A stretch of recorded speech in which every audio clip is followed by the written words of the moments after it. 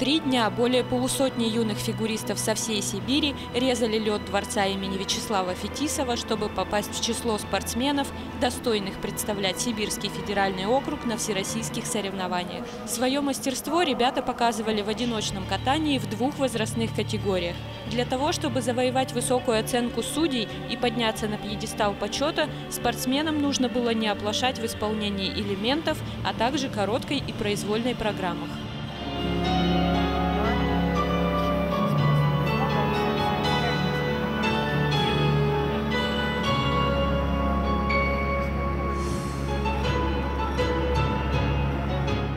Омская школа фигурного катания известна далеко за пределами нашего региона. И, разумеется, наши звездочки сумели получить путевки на Россию. В младшей группе амички заняли весь пьедестал. Лучшей стала Варвара Шарапова, показавшая свое мастерство в элементах и короткой программе. Серебро взяла Екатерина Авдеева, ставшая лучшей в произвольной программе, бронза у Дарьи Третьяковой. Сегодня был не лучший прокат, меня вытянули элементы. У меня сегодня получились каскады. Первый каскад это был луцтый луп, и второй каскад это был флип ридбергер. Буду стараться прыгнуть еще один прыжок дупель. Среди мальчиков в тройку сильнейших вошел амич Виталий Трошкин, а лидером в этой категории стал приморский фигурист Ярослав Нечаев, который почти на 2 балла обошел красноярца Дамира Ахмадеева.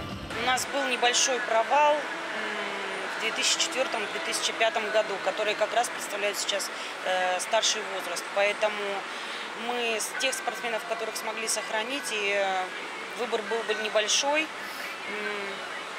Поэтому, может быть, мы еще не совсем их успели подготовить.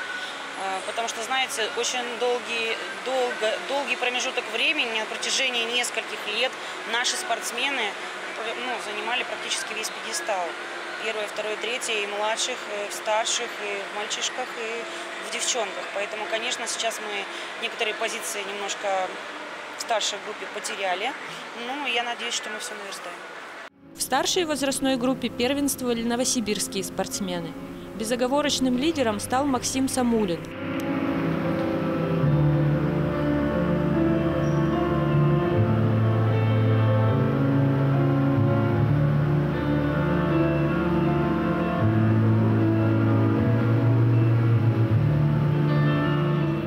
На вторую ступень поднялся его земляк Данил Ступников.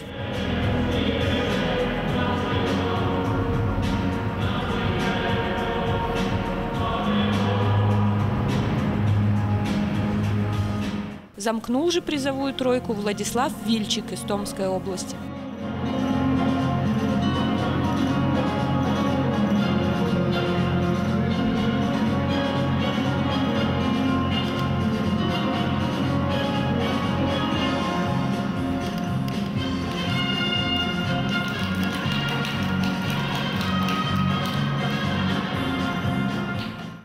Вообще, в принципе, люблю в Омске, когда соревнования проходят. Потому что, ну, здесь, я думаю, очень хороший лед. А на соревнованиях э, у меня получился самый сложный прыжок.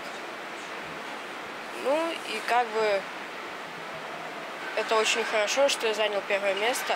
И это же отбор. И я попадаю на Россию старшего возраста. Это очень хорошо. У девушек в этой возрастной группе победу также праздновали спортсменки из Новосибирска. Полина Егорова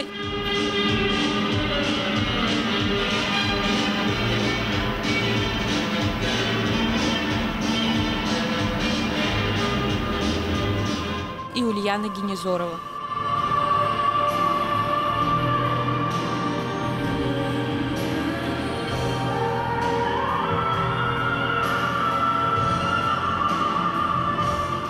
Третье место досталось омской фигуристке Анастасии Полонской.